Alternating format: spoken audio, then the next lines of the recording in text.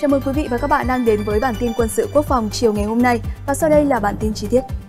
Sức mạnh kinh hoàng của loại tên lửa Nga mang tên trời sập.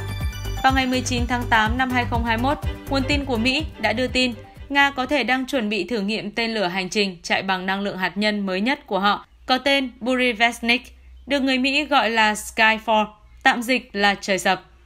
Loại vũ khí này quá mới và những gì thế giới biết về dự án Burevestnik chỉ khái quát đó là tên lửa hành trình chạy bằng động cơ hạt nhân tích hợp được Tổng thống Nga Putin công bố vào năm 2018.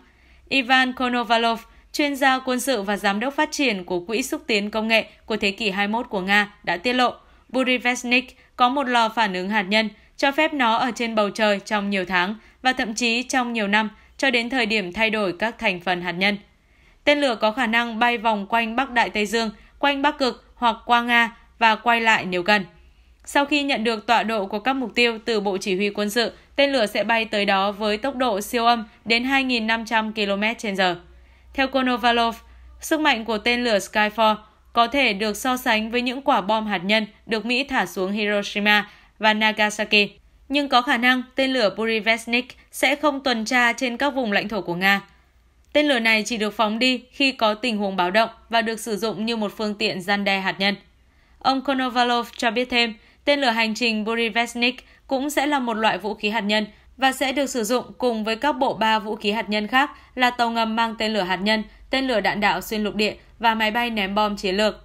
Còn theo ông Dmitry Safonov, tổng biên tập của nguồn tin thì cho rằng hiện tại đối thủ lớn nhất của Nga là Mỹ, không có loại vũ khí nào tương tự, nhưng rất có thể trong tương lai gần, người Mỹ sẽ tạo ra vũ khí tương tự. Lý do để ông Safonov khẳng định ý kiến trên đó là chính phủ Mỹ đã thông qua chương trình hiện đại hóa vũ khí hạt nhân mới có trị giá 1,2 nghìn tỷ USD để bắt kịp Nga trong việc phát triển vũ khí hạt nhân. Theo ông Safonov, người Nga đã bắt đầu hiện đại hóa kho vũ khí hạt nhân của họ cách đây 10 năm và do đó đã gặt hái được thành quả sự đầu tư đúng hướng này. Safonov nói, chúng tôi đã đầu tư 150 tỷ USD vào việc phát triển các phương tiện gian đe hạt nhân thời đại mới, nhưng số tiền của chúng tôi ít hơn 10 lần so với chương trình hạt nhân mới của Mỹ, nhưng vẫn đem lại những kết quả khả quan. Người Mỹ đã không coi trọng các kế hoạch và các nhà khoa học của chúng tôi 10 năm trước. Bây giờ họ phải bắt kịp chúng tôi trong những công nghệ này. Vào thời điểm họ chưa thể đưa ra những vũ khí tương đương thì chúng tôi đã hoàn thành việc thử nghiệm và đưa vào biên chế trong quân đội. Safonov khẳng định. Hiện tại Nga có một loạt hệ thống vũ khí hạt nhân hiện đại hóa như ngư lôi hạt nhân Poseidon có thể ngủ dưới đáy đại dương và tiến công mục tiêu đối phương khi cần. Tên lửa đạn đạo xuyên lục địa Samad có thể phá hủy vùng lãnh thổ, có diện tích bằng cả nước Pháp. Tên lửa siêu thanh Avangard không thể đánh chặn và tên lửa hành trình hạt nhân Burevestnik.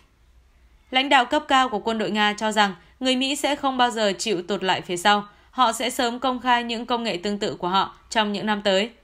Nga không bao giờ đánh giá thấp các nhà khoa học, công nghệ và tiềm lực quân sự của Mỹ và cho rằng Mỹ sẽ sớm bắt kịp Nga và sẽ cho Nga và các đối thủ của Mỹ thấy các tổ hợp công nghiệp quân sự của họ có khả năng như thế nào, ông Safonov nhận định. Trong những công nghệ mới nhất của Mỹ, ông Safonov đánh giá rất cao dự án máy bay có thể tiến hành các hoạt động trong quỹ đạo không gian, vũ trụ rìa trái đất, mang tên X-37. Safonov đánh giá đây là vũ khí có thể thay đổi cục diện chiến tranh nếu nó được đưa vào biên chế trong quân đội Mỹ. Và cuối cùng, như thường lệ, nếu quý vị và các bạn thấy hay, hãy like và comment cũng như đăng ký kênh để theo dõi những video tiếp theo. Xin chào và hẹn gặp lại!